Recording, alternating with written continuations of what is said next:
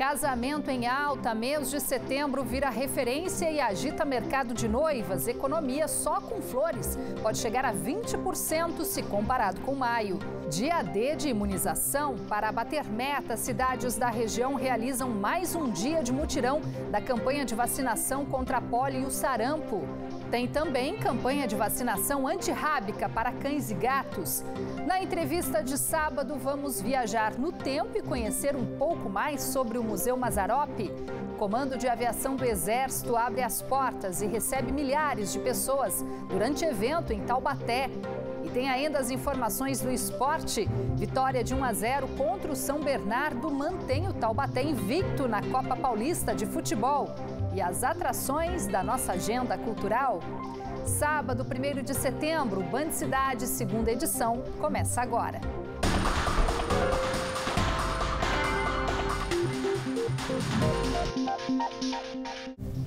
Olá, muito boa noite para você.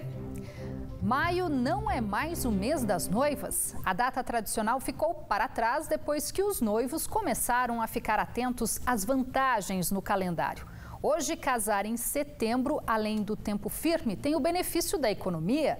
O mês da primavera pode ser bem mais em conta na decoração com flores da estação do que em maio, quando o valor pelo produto aumenta por causa do Dia das Mães. A Juliana não consegue mais esconder a ansiedade. Também falta menos de um mês para o grande dia. Agora, ela está acertando o cabelo, o vestido e os últimos detalhes para que tudo esteja perfeito no casamento. A noiva escolheu setembro para realizar este sonho especial. Tudo que eu sonhei está sendo realizado, né? O mês também de setembro, por ser uma estação muito bonita, né? e por também é, ser algo pessoal mesmo, um mês que a gente escolheu para a gente estar tá se casando. A Juliana não está sozinha. Aliás, já foi aquele tempo em que maio era o mês das noivas. Diante das alternativas mais em conta, setembro virou a data preferida para casar. Aqui nesta loja em Taubaté, 50 vestidos já estão reservados para os casamentos no mês. Essa inversão de maio para setembro por causa de tudo isso, valores, é, comodidade de pagamento também, de tendências de, de moda. Então, tudo isso foi influenciando e hoje em dia setembro, para a gente, é um dos meses que já começa a ter aquela alta, já aquele boom. Este é um mercado que só cresce. Mesmo com a crise, o brasileiro não para de casar. Em 2016, dado mais recente do IBGE, o país registrou mais de 1 milhão e 95 mil casamentos civis.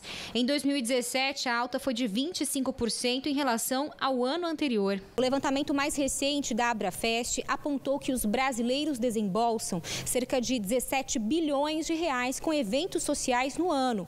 Em média, o gasto por casamento fica em torno de 30 a 40 mil reais. O mês de setembro entra no pacote de vantagens, mas mesmo assim é preciso de planejamento. Todos os meses né, são bem vendidos, porém o mês de setembro é o que esgota primeiro as reservas. Então, hoje, por exemplo, se vier um casal procurar setembro de 2019, eu já não tenho mais sábado disponível. Eu já estou com a agenda aberta de 2020. Os casais estão parcelando o seu casamento, né, o seu evento completo com mais tempo. Setembro é mês de primavera, nada melhor para decorar todo o ambiente com flores da estação. Bom também para o bolso. É possível economizar até 20% no período em relação ao mês de maio. Nós temos aí o período de primavera, né, que começa se inicia agora em setembro, então nós temos um número muito maior de flores, de flora, e isso faz com que os casais tenham uma vantagem em relação a preço. Também mês de maio nós temos aí uma data sazonal super importante, Dia das Mães. Na sequência, nós temos uma outra data sazonal, Dia dos Namorados, que também faz aí com que a flor ela se eleve muito no preço. Na agenda da celebrante de casamentos, setembro está lotado e ela também já conseguiu antecipar os compromissos para o mesmo mês do ano que vem. Mudança de comportamento que já percebe há cinco anos. Desde o início, eu nunca folguei no dia 7 de setembro, porque realmente é uma das datas mais procuradas, justamente por conta do feriado, né? E setembro, assim, é líder. Eu até brinco que não é mais maio, mês das noivas, é setembro, porque a procura realmente é muito grande. Os noivos Renato e Maria Eduarda conseguiram a última data de setembro de 2019 para casar neste espaço de eventos em Taubaté. Deram sorte de conseguir casar no período mais concorrido do ano. A data é uma data muito importante, tanto para o nosso relacionamento, para ficar tudo certo e também a questão do tempo, né? Que seria não tão quente, não tão frio. Teria a parte da, da mês de setembro, que seria prima, o final de é, primavera, e as flores seria tudo mais bonitos, daí ficou a escolha dela. Estou fazendo tudo do jeito que eu sempre quis, que eu sempre sonhei. Só que a ansiedade está forte. Casamento, na verdade, é para celebrar em qualquer data especial, mas se for planejado e bem organizado, melhor para o bolso. No final, o que fica é a alegria dos noivos em realizar o sonho e os planos para a nova fase da vida.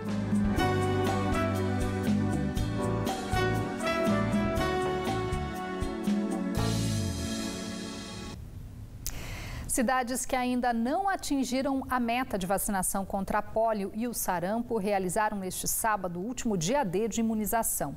Em Jacareí, menos de 60% do público-alvo ainda não foram vacinados na cidade.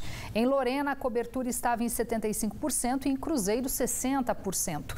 Apesar do fim da campanha, as doses continuam sendo aplicadas nas unidades básicas de saúde dos municípios. Devem ser vacinadas crianças entre 1 e 5 anos incompletos. E várias cidades da região deram início à campanha de vacinação antirrábica. A vacina é fundamental para prevenir a raiva em cães e gatos. Em São José dos Campos, a meta é imunizar cerca de 35 mil animais. Os detalhes com o repórter Tiago Bezerra. Em São José dos Campos, a campanha de vacinação antirrábica segue até 25 de novembro, com as doses sendo distribuídas gratuitamente em vários pontos da cidade. Quem explica melhor sobre essa campanha é o Dr. Diego Amaral, veterinário aqui do CCZ, que é o Centro de Controle de Zoonoses de São José dos Campos. Doutor, a respeito dos locais de vacinação e horários de atendimento, quais são? Serão aproximadamente 96 postos fixos localizados aos sábados e domingos em todas as regiões da cidade. Além disso, o horário de funcionamento dos postos é das 9 da manhã às 4 da tarde. Os bairros da zona rural também vão ser contemplados? Sim, os bairros da zona rural e alguns bairros da zona urbana serão contemplados por roteiros volantes, ou seja, quem vai a cada região da cidade de segunda a sexta-feira, respeitando o mesmo horário. A raiva é uma doença muito comentada, mas nem sempre as pessoas realmente conhecem os riscos. Quais são efetivamente os riscos? Ela realmente chega a ser fatal? A raiva é letal em praticamente 100% dos casos, ou seja, praticamente em 100% dos casos ela leva à morte. Então é super importante a prevenção através da vacinação em nossos cães e gatos. A vacinação então é, único, é o único caminho para realmente ela não acontecer? Com certeza. E é transmissível aos seres humanos? Sim, através de mordeduras, arranhaduras ou até mesmo lambeduras de cães e gatos nas pessoas, as pessoas podem estar contraindo a raiva. Para as pessoas também pode ser fatal? Com certeza.